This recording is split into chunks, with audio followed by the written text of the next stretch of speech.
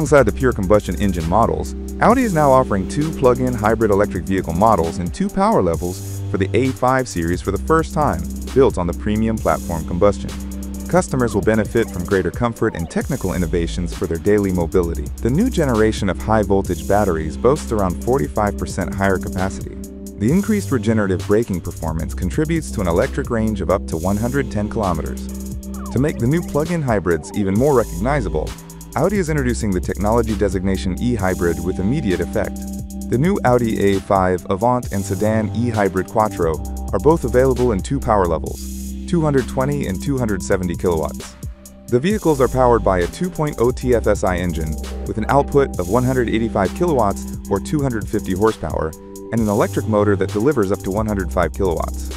In the 270 kilowatts versions with 362 horsepower and 500 newton meters, the Avant and Sedan can accelerate from 0 to 100 kilometers per hour in 5.1 seconds with a top speed of 250 kilometers per hour.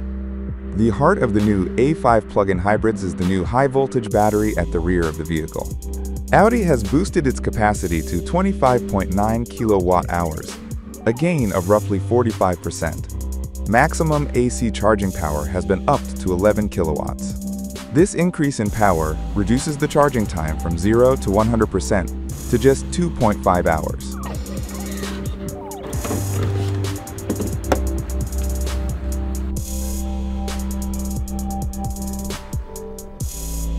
Audi has also significantly increased the regenerative braking performance, and drivers can now adjust the degree of thrust recuperation in EV mode using paddles on the steering wheel. The new A5 e-hybrid essentially runs on electric power for as long as possible to fully utilize the available battery charge to the driver's destination. When this function is activated, the vehicle recovers energy automatically. This is based on route data stored in the navigation system. The new A5 e-Hybrid Quattro can also recover energy automatically without active route guidance. The hybrid management of the new models is designed for efficiency, flexibility, and maximum customer comfort and automatically selects the optimal operating strategy. Two operating modes are available, EV and hybrid. In EV mode, the plug-in hybrid models run exclusively on electric power. When driving in hybrid mode, the hybrid management system maintains a specific charge level as needed in order to save enough electrical energy for later use, for example for electric driving in the city. In addition to the automatic hybrid mode, the desired charge level can now be individually selected for the first time using a digital slider.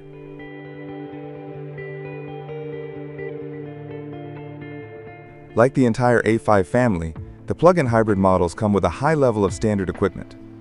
The sporty A5 e-Hybrid Quattro with the higher power level comes as standard with the S-Line exterior package black styling package, and privacy glazing, making for a particularly dynamic appearance. Sport suspension, 19-inch wheels, and red brake calipers round off the extensive standard equipment.